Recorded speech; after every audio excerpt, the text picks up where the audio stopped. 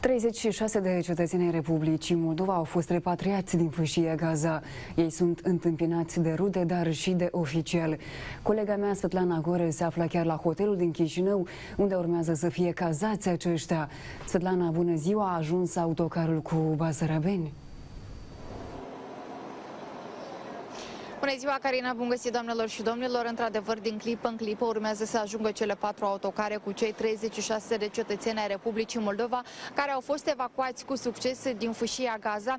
Ei vor fi cazați pentru câteva zile aici, la acest hotel din spatele meu, din sectorul Buiucani al capitalei. Aici vor primi și consiliere psihologică cei care vor solicita acest lucru.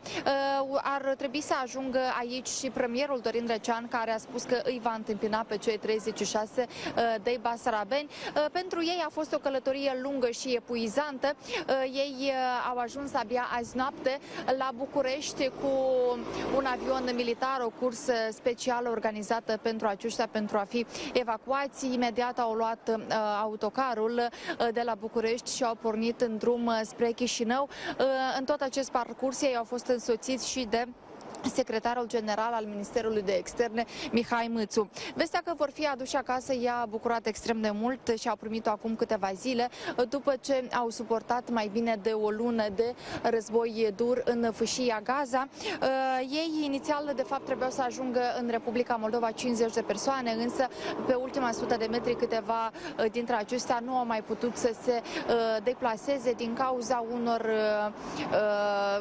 condiții de insecuritate în acea zonă. Amintim că basarabenii din uh, fâșia Gaza au solicitat asistență încă la mijlocul lunii octombrie, însă evacuarea acestora nu a fost posibilă mai devreme, întrucât era închisă uh, granița de la Egipt, granița Rafa.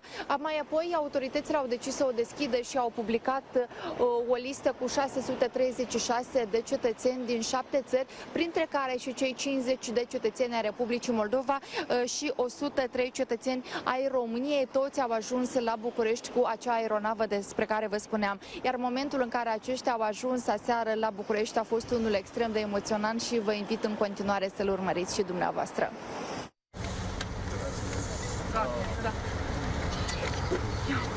جينا حبايب وصرنا عز الحبايب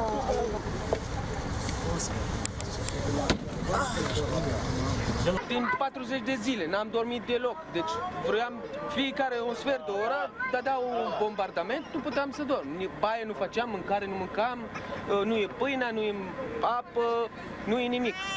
Deci e foarte greu de trăit și mai ales când am un prieten, cel mai bun prieten de-al meu, când uh, am văzut că a murit. Deci fața mea cum ar fi. Trei zile, n-am dormit deloc.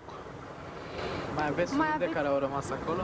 Sigur, am rude foarte mult, mama, frați, rod, mult am acolo. Fuge din casa la casa, din spital la spital, casa betește, ca să nu moare pe ei. Sigur, dacă vine racheta, are nu știu cât tone, cade peste lângă tine. Ortoped, da? Si- sigur, Ortopezi, nu? Ce, ce mai rămas în urmă? Ce mai aveți acolo? Locuința dumneavoastră o mai nu, nu avem nimic, a dărmat toate casa, vila foarte frumoasă, care m-a costat 100 de, 100 de mii de euro la frați, la soror, nu mai casa. Ca să merge ei cu, cu tank. S-a fost frică. Da, chiar. De, de că să murim și acum mi-a fost frică de, de soțul. Nu, nu, nu am fost atât de fericită că am ieșit. Sunt fericită că am reușit aici și cu mai, maica mea, dar soțul meu e încă acolo.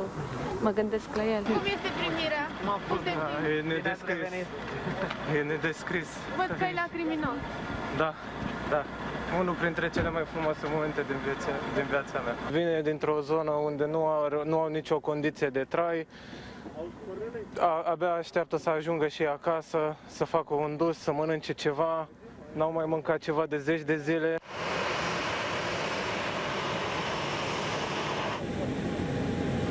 129 de persoane au venit azi noapte în România, 93 sunt cetățeni români, iar 36 sunt cetățeni ai Republicii Moldova. Doi dintre repatriați au fost transportați direct la spital din cauza unor probleme medicale. Ceilalți au fost preluați de Departamentul pentru Situații de Urgență și de către rude.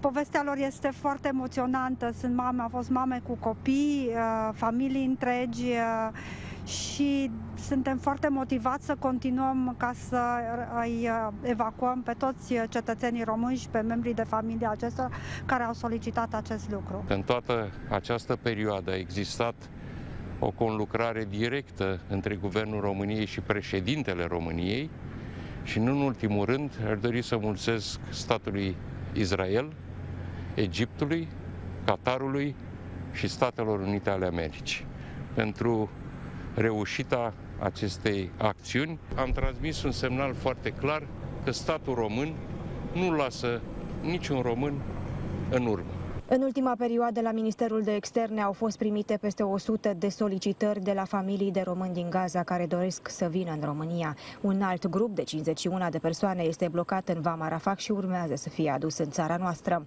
Marcel Ciolacu a mai spus că cei care nu mai au rude în România urmează să fie ajutați printr-o hotărâre de guvern care este deja în lucru.